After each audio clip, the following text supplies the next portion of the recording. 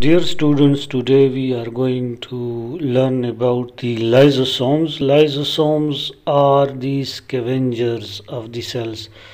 These are tiny organelles which are single membrane bounded and filled with hydrolytic enzymes. Let's learn about these. Lysosomes derived from the Greek word lysis means uh, splitting and soma means body. These are found in animal cells and present all over the cytoplasm. It means the lysosomes are present in cytoplasm and they carry out the digestive digestive work for the cell. Lysosome structure, these are tiny sac-like structures also a single membrane bound structures. These consist of important enzymes like uh, hydrolytic enzymes and bounded by a phospholipid bilayer. These hydrolytic enzymes are of various types. Enzymes uh, which are there in the lysosomes like the nucleases, phosphatases, lipases, proteases, glycosidases, and sulfatases and these are abundant in those uh, structures which contain or organs which contain the uh, active metabolisms. You can see in the figure that there is a single membrane and the green part actually that green part are the enzymes which help in digestion for the cell. In this diagram you can see that there is a phospholipid a membrane and the uh, hydrolytic enzymes are filled inside. These hydrolytic enzymes require acidic pH which uh, then combines with some molecules and digested. The important enzymes like nucleases which include ribonuclease and deoxyribonuclease break down polynucleotide into nitrogen bases phosphate and pentose sugars. Second type of uh, the important enzyme which are present that is phosphatase. Acid phosphatase break down phosphate esters to monophosphates the third one is known as lipases, which break lipids uh, into fragments. The fourth one is proteases. Proteases break down protein into the amino acids. Glycosidases, there is beta galactosidase and other uh, types are there like glucuronosidase and mannosidase which break down polysaccharides into the monosaccharides. The next uh, important enzyme is sulfatases.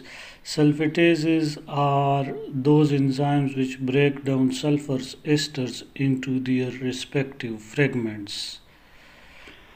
Discovery of lysosome. Lysosomes were discovered by Christian de Duve in 1955. Later on, he won Nobel Prize for the discovery of peroxisomes and lysosomes in 1974.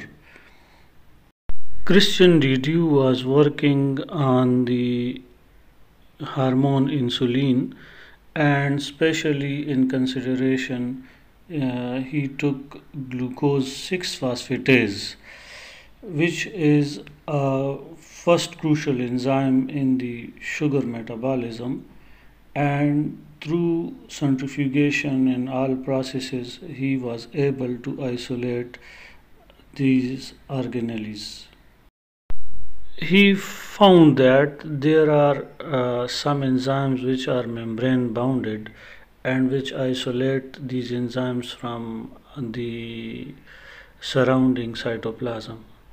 There are three types of uh, lysosomes which are known as primary, secondary and tertiary lysosomes.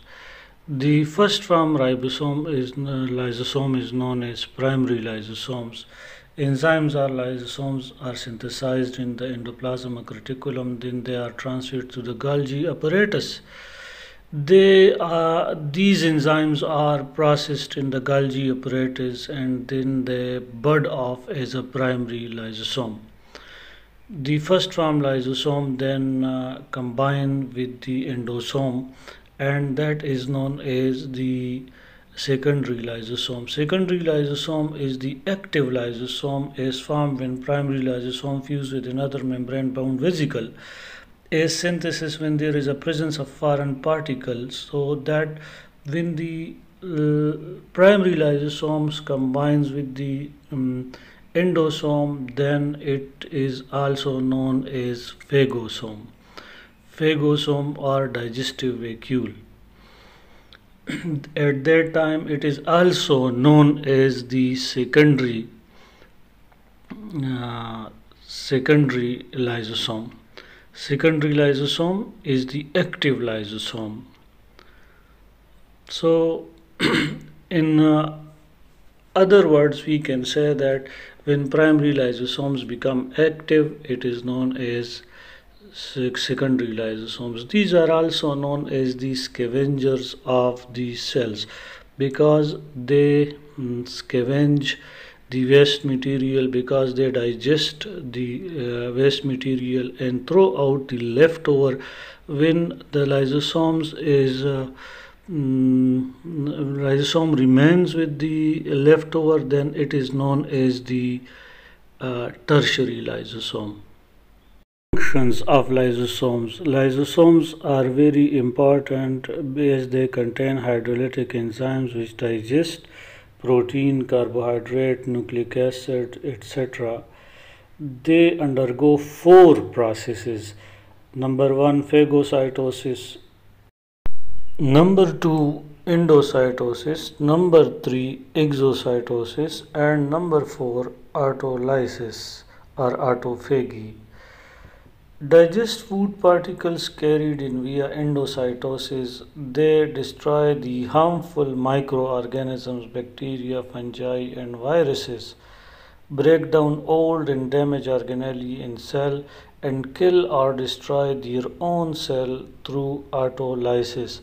These four uh, steps are, are these four uh, uh, types of functions which are uh, related with the lysosomes and that's why that is known as the splitting body now इस बात को note किया जाए that the, the lysosomes present on the cell and they contain digestive enzymes but uh, how the cell survive in it because the lysosomal uh, membrane is impermeable and in the cytoplasm the pH is 7 that's why the enzymes are non-functional inside the uh, cytoplasm.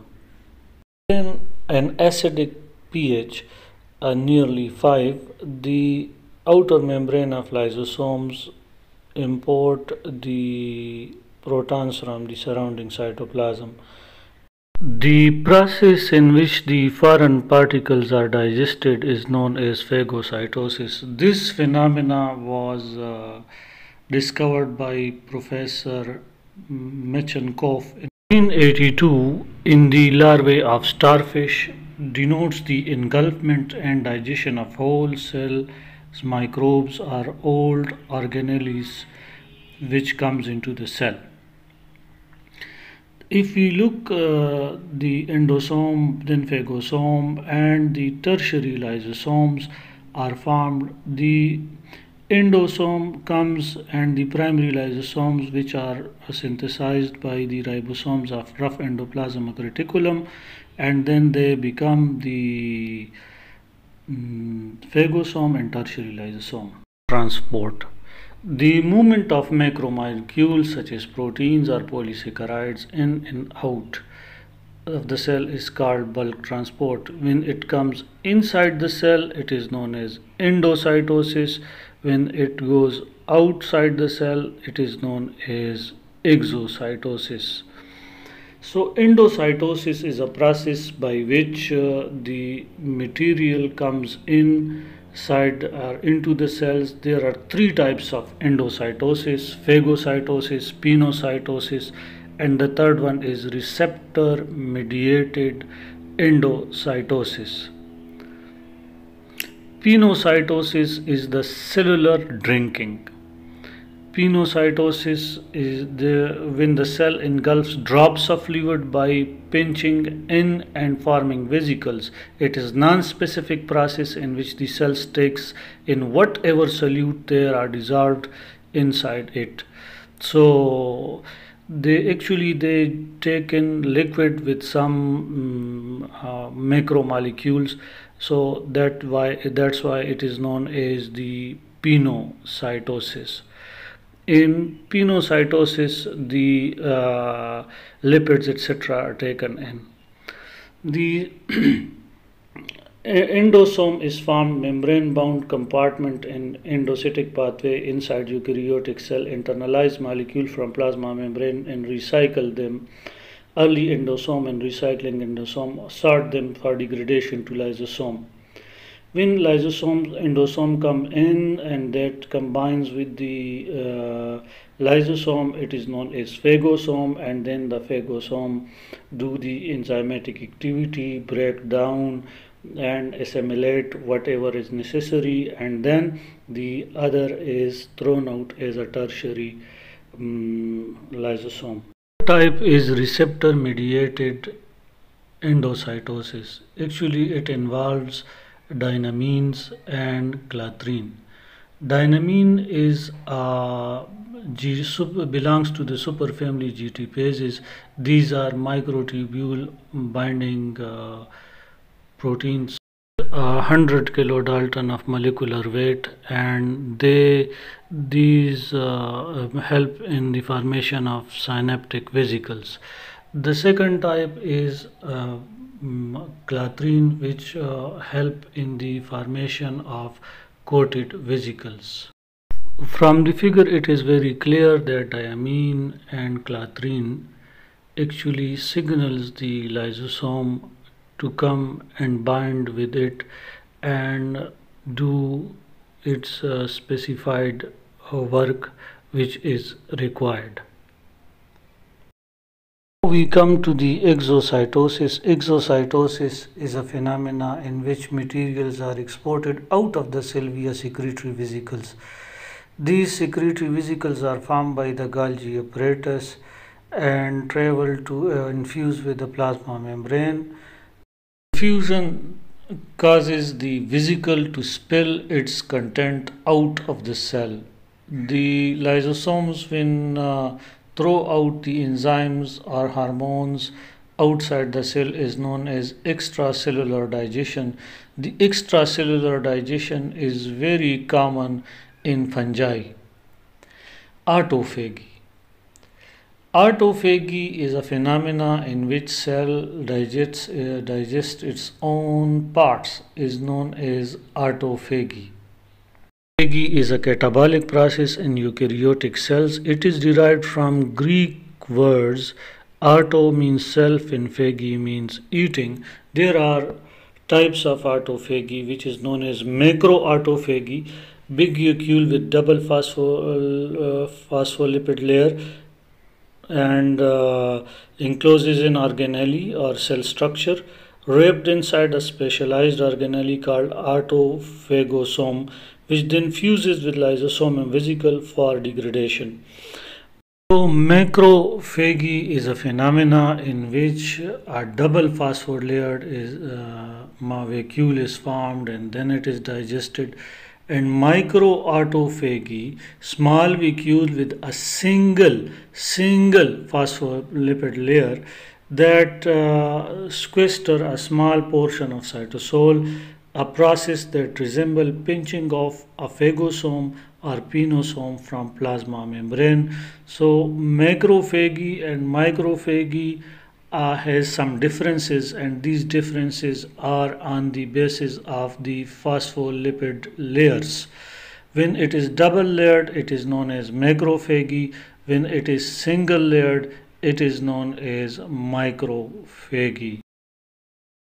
The third type is known as chaperone mediated autophagy. Chaperones are those proteins molecules which help in the folding and unfolding of other macromolecules. So these chaperone uh, proteins possess a specific sequence signals which are transported from cytoplasm and they are uh, uh, they then go to the lysosomal membrane and then to the lysosomal lumen and there they initiate the uh, autophagy. This type of autophagy is known as chaperone mediated autophagy. Important question is that that why uh, lysosome engulf the organelle. We know that most of the double membranic organelle contain prokaryotic membrane as an inner membrane. When the inner membrane is exposed, the lysosome consider it as a foreign particle and engulf it. Next we have uh, the uh, benefits of autophagy. Autophagy play important role in innate adaptive immunity. Innate and adaptive immunity responsible for apoptosis, program cell death, prevent uh, cancer, neurodegeneration, and uh, it slows the body aging process and protect brain from damage. Lysosomal diseases, there are two types of lysosomal diseases. One is lysosomal storage disorders and the other are muscle diseases. In our uh, course, we have lysosomal storage diseases and the harmful accumulation of abnormally enlarged lysosomes containing accumulated undigested cellular components are known as lysosomal uh, storage disorders. Which not only uh, produces defects of skeletal and muscular organs uh, as well as they produce the mental retardation or even death. One of the most uh, important one is glycogenosis type 2 which is also known as Pompe disease.